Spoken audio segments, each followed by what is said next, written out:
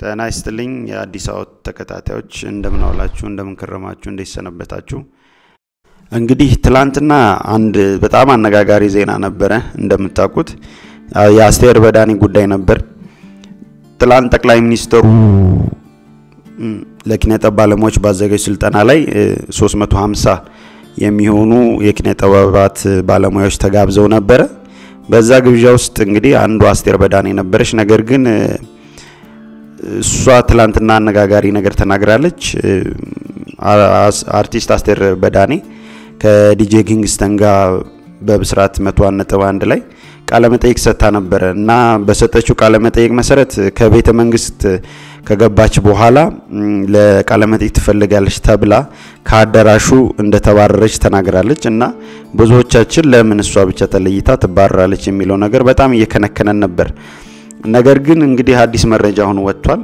ጌጡ ተመስገን የእሷ መባረርን በዲጄ ኪንግስተን ከሰማ በኋላ እንግዲህ እሱም ልክ እንደኛ ቆርቁሮት ነበረ። በዛ ምክንያት አንድ ሌላ ከሷ ውጪ አንድ ገጣሚ ምስራቅ ተረፈ የምትባል ገጣሚን አነጋግሮ ነበረ በስልክ። እንግዲህ ገጣሚ ምስራቅ እንዳለችው ከሆነ ወደ ቤተ መንግስቱ ስንሄድ መጀመሪያ ከኔ ከሷ ከገጣሚ ምስራቅ ተረፈ ፊት እንደነበረች አስቴር በዳኔንም እንዳየቻት ተናግራለች።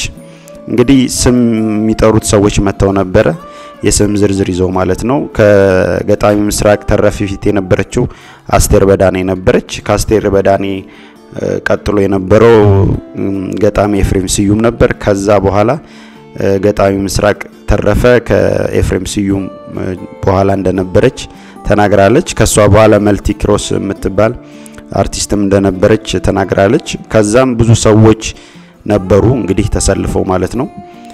ስም በሚጠራበት ጊዜ የብዙዎቻችን የስም ዝርዝር አልነበረም በማለት ተናግራለች። እንግዲህ ገጣሚ ምስራቅ ተረፈ ስለዚህ የሚያስገቡት ሰዎች ይቅርታ ጠይቀው እንግዲህ ስም ዝርዝራችሁ ከሌለ ማስገባት ስለማንችል እንግዲህ ይቅርታ ብለው ሄደው ተመልሰው ሄደዋል። በዚህ መሀል ነው እንግዲህ አርቲስት በዳኔ ተበሳይታ ወደ መኪናዋ የሄደችው በማለት ገጣሚ ምስራቅ ተናግራለች። ነገር ግን ከደቂቃዎች ቆይታ በኋላ ሌላ አስተናጋጅ መረን ስም ዝርዝር ይዞ መጥቶ ስማችንን ጠርቶ እንዳስገባን ተናግራለች። እንግዲህ ገጣሚ ምስራቅ እኛ ገባን። እንግዲህ እሷ በሰጠችው የስልክ ሪፖርት ማለትም ለጌጡ ተመስገን በሌላ አስተናጋጅ በነበረ የስም ዝርዝራችን ስለተገኘ እኛ ገባን፣ አስቴር በቦታው ስላልነበረች እንጂ እንደኛ ትገባ ነበር በማለት አስተያየቷን ሰጥታለች። ስለዚህ እንግዲህ ትላንት የተፈጠረው ነገር ይሄ ነው ማለት አስቴር በዳኔ እንዳሰበችው ወይ እሷ ብቻ ተለይታ ፖለቲካሊ እንግዲህ በነበረው የቃለ መጠይቋ ላይ ትንሽ ወደዛ ወስዳው ነበረ። ነገር ግን እስቲ ገጣሚ ምስራቅ የተባለችዋ ልጅ እንግዲህ እንደዚህ ብላለች።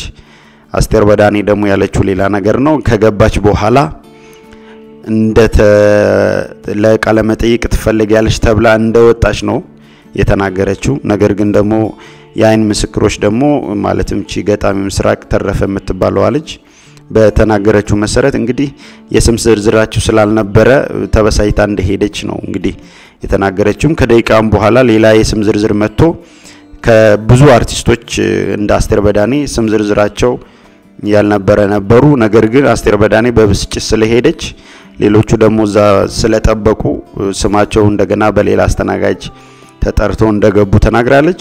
እንግዲህ እውነቱ የቱ እንደሆነ ማወቅ ይከብዳል። ነገር ግን አይሆፕ አስቴር በዳኔ ላይ ያነጣጠረ ነገር እንደማይሆን ተስፋ አደርጋለሁ።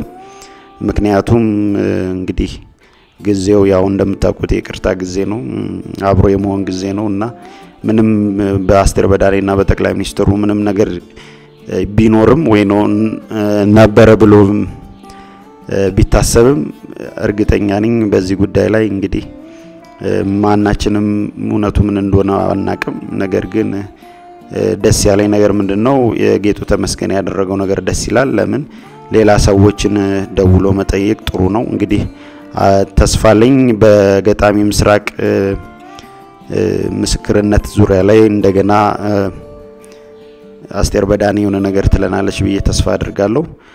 እናንተስ ምን ትላላችሁ? በትላንቱ በተፈጠረው በአስቴር በዳኔ ጉዳይ ላይ እውነት እንደ አስቴር በዳኔ እንዳለችው ለዲጄ ኪንግስተን በሰጠችው ቃለመጠይቅ ለቃለመጠይቅ ተፈልጋ ነው የተባረረችው ወይስ ሌላ ምክንያት ይኖራል? እስቲ እንወያይበት። comment በማድረግ ሀሳባችሁን ግለጹ። ለነበረን ቆይታ አመሰግናለሁ። መልካም ውሎ፣ መልካም ምሽት። ቻው